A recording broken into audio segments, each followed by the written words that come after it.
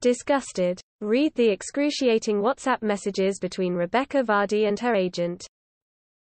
Private WhatsApp messages sent from Rebekah Vardy to her agent were released as part of the Wagatha Christie trial. The WAG was accused of leaking information from Colleen Rooney's private Instagram account to the press in October 2019, which she denies.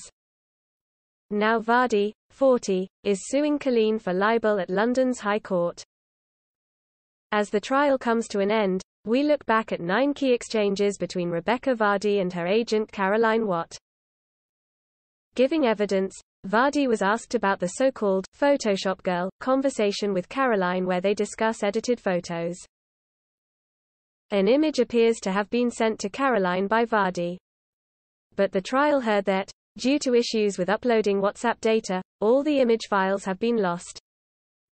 Vardy says to Watt that the pictures made her fume, as the editing software Photoshop can make you look five sizes smaller.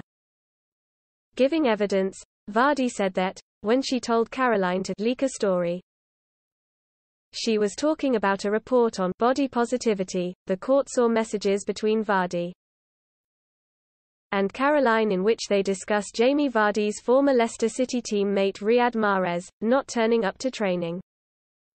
Vardy tells Watt? Lads are fuming. An article in The Sun was later published stating Mahrez's teammates had turned on him, which David Sherborne, for Rooney, said no other media outlet had. Vardy said this had nothing to do with her. She told the court the story was based on information already in the public domain. A photograph of a number of wags at a restaurant in Russia during the 2018 World Cup was discussed at the trial. In a WhatsApp exchange between Caroline and Vardy, the pair discuss how Vardy is getting to the restaurant and having a photographer get a good pic of us walking down. Vardy later messages Watt? F asterisk I made everyone go outside for a pic and the pap was there. Looks like I tipped him off now,